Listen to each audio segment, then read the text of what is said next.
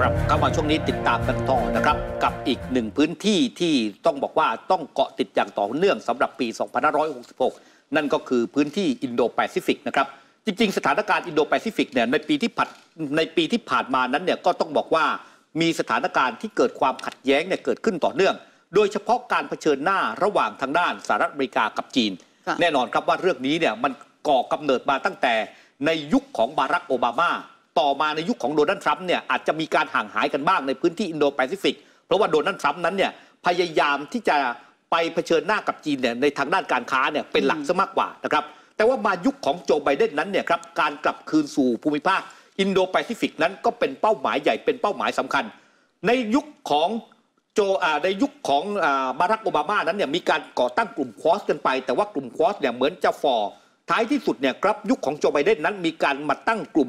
ออคัสหรือว่าออคุสขึ้นมา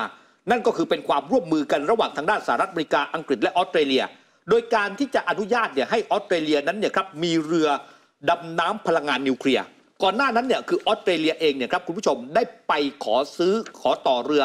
เรื่องของเรือดำน้ำเนี่ยกับทางด้านฝรั่งเศส เป็นมูลค่ามหาศาล แต่เมื่อสหรัฐอเมริกานั้นมาตั้งกลุ่มออคุสขึ้นมาเนี่ยปรากฏว่าออสเตรเลียก็ไปยกเลิกสัญญาที่ทำเอาไว้กับทางด้านฝรั่งเศส เพื่อที่จะตัวเองนั้นเนี่ยได้รับการสนับสนุนงบประมาณ แล้วก็เทคโนโลยีเรื่องของเรือดำน้ำพลังงานนิวเคลียร์จากฝักฝั่งของสหรัฐอเมริกา ก็เลยทำให้ภูมิภาคนี้เนี่ยระอุขึ้นมาทันที เพราะว่าอินโดนีเซียนั้นก็ไม่เห็นด้วยกับการเคลื่อนไหวดังกล่าว รวมถึงชาติอื่นๆ ที่อยู่ในภูมิภาคอย่างสิงคโปร์เองเนี่ยครับก็ลีเซียนลุงนั้นก็มองว่าเรื่องนี้เนี่ยมันเป็นเรื่องที่ไม่ถูกต้องมากนัก มันจะทำให้ภูมิภาคอินโดแปซิฟิกรวมถึงพื้นที่ทะเลจีนใต้ต่างๆเนี่ยมันระอุมากยิ่งขึ้น แต่ว่าไม่สามารถที่จะต้านทานการเคลื่อนไหวของสหรัฐอเมริกาได้นะครับ เพราะว่าสหรัฐอเมริกานั้นก็ยังเคลื่อนไหวต่อเนื่อง และความขัดแย้งที่มันดูเหมือนจะชัดเจนมากยิ่งขึ้น ก็คือเมื่อทางด้านในส่วนของสหรัฐอเมริกานั้นเนี่ยมีการเผยแพร่เอกสาร ยุทธศาสตร์อินโดแปซิฟิกนะครับแล้วไปชี้ในเอกสารดังกล่าวเนี่ยนะว่า ภัยคุกคามต่อสหรัฐอเมริกา และก็ต่อภูมิภาคในพื้นที่ดังกล่าวนั้น คือจีน นะฮะตัวเรื่องนี้เนี่ยกลายเป็นประเด็นหลักเลยทีเดียวครับค่ะโดยเขามองว่าจีนเนี่ยนะคะไปแสวงหาอิทธิพลต่าง ๆ ในอินโดแปซิฟิก แล้วก็ตั้งใจว่าจะเป็นมหาอำนาจที่ส่งอิทธิพลที่สุดนี่คือข้อความที่อยู่ในเอกสารยุทธศาสตร์อินโดแปซิฟิกนะคะนอกเหนือจากนี้ก็ยังมีการพูดถึงเนี่ยประเด็นว่าที่ผ่านมาเนี่ยจีนมีพฤติกรรมที่อาจจะเป็นภัยคุกคามต่อประเทศเพื่อนบ้าน และสหรัฐพร้อมที่จะให้ความช่วยเหลือพันธมิตร แล้วก็ประเทศที่อยู่ในภูมิภาคอินโดแปซิฟิกแต่ว่าสิ่งหนึ่งที่โจไบเดนมีการย้ำเนี่ยก็คือเรื่องของความขัดแย้งระหว่างจีนกับสหรัฐนั้นต้องไม่กระทบความร่วมมือนานาชาติ คือสหรัฐเนี่ยมองว่า ไม่ว่าจะเป็นเรื่องของการสร้างความเข้มแข็งการรักษาค่านิยมต่างๆ หรือว่าแม้ว่าจีนเองเนี่ยจะมีการเปลี่ยนแปลงกฎบรรทัดฐานที่เป็นประโยชน์ต่ออินโดแปซิฟิก แต่ว่าจะต้องมีการดำเนินการแข่งขันกันโดยมีความรับผิดชอบ ขณะเดียวกันนะคะ ทางด้านของโจไบเดนเนี่ยก็จะมีการเน้นเรื่องของชาติพันธมิตร บอกว่านี่แหละเป็นหัวใจสำคัญ มีการสนับสนุนเรื่องของศูนย์กลางของอาเซียน ในการแก้ไขปัญหาต่างๆ ที่มันเกิดขึ้นนะคะ ซึ่งทางด้านของอินโดแปซิฟิกเนี่ยไม่ว่าจะเป็นเรื่องของเอกสารที่ออกมา เป็นยุทธศาสตร์ต่างๆเนี่ยเขามองแบบนี้ มองว่าอินโดแปซิฟิกเนี่ยเป็นพื้นที่ที่เสรีแล้วก็เปิดกว้างแล้วก็ขณะเดียวกันเนี่ยนะคะอามองว่าอินโดแปซิฟิกเนี่ยถูกเชื่อมกัน มีการสร้างพันธมิตรองค์กรต่างๆ กฎเกณฑ์ต่างๆ ที่สหรัฐได้ช่วยพันธมิตรได้มีการสร้างเอาไว้ มีการกระชับความสัมพันธ์ความตั้งใจของยุทธศาสตร์อินโดแปซิฟิกเนี่ยก็คือว่าตั้งใจกระชับมิตรไม่ว่าจะเป็นเรื่องของอาเซียน ภูมิภาคต่างๆ กลุ่ม Quad หรือแม้กระทั่งอินเดีย หมู่เกาะแปซิฟิก อินโดแปซิฟิก หรือว่าแม้กระทั่งในส่วนของการทูตของสหรัฐอเมริกากับอินโดแปซิฟิกด้วยค่ะ เราก็เลยจะได้เห็นเนี่ยครับว่าสหรัฐอเมริกานั้นเนี่ยก็เข้ามาเคลื่อนไหวในภูมิภาคอินโดแปซิฟิกเนี่ยอย่างต่อเนื่องนะครับส่งบุคคลสำคัญสำคัญในรัฐบาลของสหรัฐเนี่ยไปเยือนประเทศต่างๆ แล้วก็ที่สำคัญเนี่ยนะฮะก่อนหน้านี้ถ้าจำกันได้ในการประชุมที่ประเทศไทยเนี่ยนะฮะค่ะก็ปรากฏว่าทางด้านกัมมาลาแฮร์ริส ซึ่งเป็นรองประธานาธิบดีของสหรัฐเดินทางมาที่ประเทศไทย หลังจากนั้นเนี่ยครับก็ได้เดินทางต่อไปที่ประเทศฟิลิปปินส์ การเดินทางไปที่ประเทศฟิลิปปินส์ของกมลาแฮร์ริสนั้นเนี่ยคุณผู้ชมครับ ไปแสดงตัวแสดงตนชัดเจน โดยเฉพาะเข้าไปในพื้นที่หมู่เกาะพิพาทระหว่างทางด้านฟิลิปปินส์กับทางด้านในส่วนของจีน ซึ่งตรงนี้แหละเป็นการแสดงให้เห็นชัดเจนนะครับว่าสหรัฐอเมริกานั้นกำลังจะกลับมามีบทบาทในภูมิภาคอินโดแปซิฟิกเนี่ยมากยิ่งขึ้นนอกจากนั้นเองเนี่ยสหรัฐอเมริกาเนี่ยครับยังได้กลับเข้ามาที่จะเข้ามาใช้ฐานทัพสำคัญสำคัญในภูมิภาคแห่งนี้อีกครั้งหนึ่ง นะครับในโดยเฉพาะในฟิลิปปินส์โดยเฉพาะฐานทัพเรือในอ่าวซูบิก ก็เลยกลายเป็นประเด็นที่ เวลานี้จีนเองนั้นก็เลยต้องออกมาบอกนะครับว่า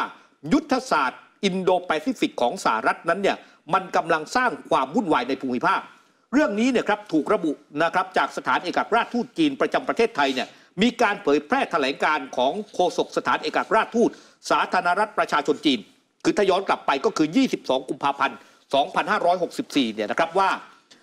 เกี่ยวกับรายงานยุทธศาสตร์อินโดแปซิฟิกที่ทางสหรัฐเผยแพร่ไปไม่นานก่อนหน้านี้เนี่ยยุทธศาสตร์ดังกล่าวนั้นสหรัฐมีเจตนาไม่ดี เป็นการบ่อนทำลายเสถียรภาพ การพัฒนาแล้วก็ความร่วมมือของภูมิภาค เพื่อสกัดกั้นจีน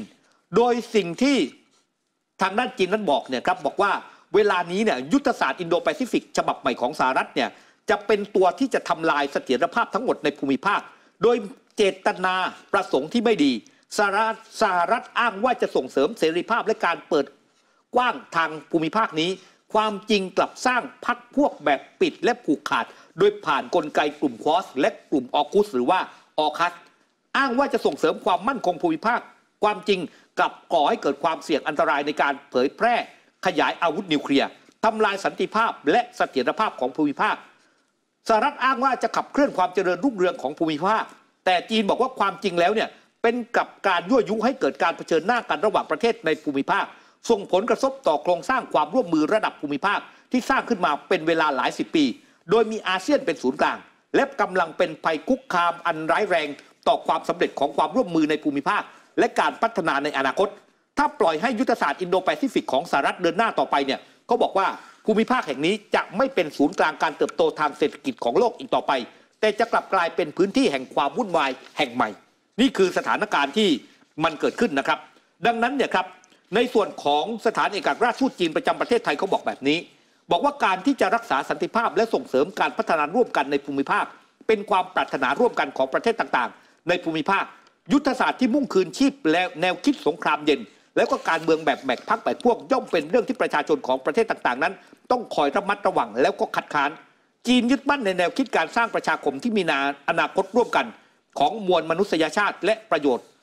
นโยบายต่างประเทศต่อประเทศเพื่อนบ้านที่เป็นมิตรจริงใจเอื้อประโยชน์และเอื้ออารี สนับสนุนความเป็นศูนย์กลางของอาเซียนมาโดยตลอด ยินดีที่จะร่วมมือกับไทยและประเทศต่างๆ ในภูมิภาค ส่งเสริมความไว้เนื้อเชื่อใจกันผลักดันความร่วมมือ และก็ประกระชับการประสานงานกัน แล้วก็ขจัดปัจจัยก่อกวน เพื่อเพิ่มพลังขับเคลื่อน ที่ยั่งยืนต่อสันติภาพและการพัฒนาและความร่วมมือของเอเชีย นี่คือจีนเนี่ยก็ออกมาตอบโต้เรื่องนี้เลยนะว่า ยุทธศาสตร์ที่มันเกิดขึ้นนั้นเนี่ยมันเป็นสิ่งที่ชาติในอาเซียนเนี่ยไม่ปรารถนา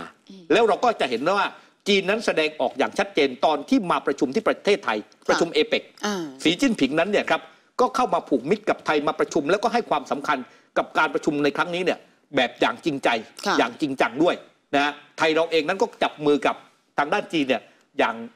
เรียกว่าแน่นแฟ้นอะอืมนะครับ สถานการณ์ที่มันเกิดขึ้นนั้นเนี่ยครับหลายคนก็มองก่อนหน้านี้เนี่ยฝากฟังสิ่งที่กำลังเป็นปัญหาอีกอย่างหนึ่งคุณผู้ชม ก็คือว่ารัสเซียเองเนี่ยก็มองว่าสหรัฐอเมริกานั้นเนี่ยกำลังเข้ามาปั่นป่วนในภูมิภาค ถ้าจำกันได้เนี่ยเซอร์เกลารอฟเคยบอกนะว่า เหตุผลที่ทางด้านในส่วนของรัสเซียเนี่ยยังต้องจับมือกับจีนเนี่ยเพราะว่าเวลานี้เนี่ยมองเห็นว่าสหรัฐนั้นเนี่ยต้องการทำลายความมั่นคงในภูมิภาค โดยเฉพาะกลุ่มองค์กรต่างๆ แม้แต่อาเซียนที่จับมือกันอย่างแข็งแรงนั้นเนี่ยสหรัฐนั้น ก็ยังต้องการที่จะทำลายอืมเพื่อที่จะบั่นทอนเนี่ยนะครับค่ะให้ภูมิภาคแห่งนี้เนี่ยครับเรียกว่าไม่แข็งแกร่งเหมือนแต่เดิม คือพยายามที่จะแบ่งแยกนะแบ่งแยกว่านี่คือพวกฉันแล้วนี่คือพวกอีกพวกหนึ่ง ไม่ทำให้มันเกิดเกาะกลุ่มที่เหนียวแน่นกว่าปกติ ก็เลยทำให้รัสเซียนั้นเนี่ยกลับเข้ามามีบทบาทในภูมิภาคนี้ เราก็จะเห็นได้ว่าที่ผ่านมานั้นรัสเซียเนี่ยก็จะกลับเข้ามาซ้อมรบร่วมกับจีนเนี่ยในภูมิภาคนี้เนี่ยถี่ขึ้นค่ะนะครับ เพราะว่านี่ หมายความว่าจีนเองนั้นเนี่ยต้องการที่จะทานอำนาจของฝากฝั่งของสหรัฐอเมริกาเช่นเดียวกันอืมแล้วสิ่งที่หลายฝ่ายจับตามองว่า จีนกับรัสเซียนั้นต้องการจับมือกันบั่นทอนเนี่ยระเบียบโลกเก่าที่นำโดยสหรัฐอเมริกา แล้วจัดระเบียบโลกใหม่ขึ้นมา อยู่ภายใต้กฎเกณฑ์ที่เป็นธรรมมากยิ่งขึ้น นี่ก็คือเป็นอีกหนึ่งความเคลื่อนไหวที่เราจะต้องเกาะติดกันสำหรับในปี 2566 นะครับ พักกันก่อนสักครู่ เดี๋ยวช่วงหน้าจะพาคุณผู้ชมเนี่ยครับไปดูอีกหนึ่งสถานการณ์ที่น่าสนใจนั่นก็คือสถานการณ์ความขัดแย้งในตะวันออกกลาง ระหว่างอิหร่านกับซาอุดีอาระเบียครับ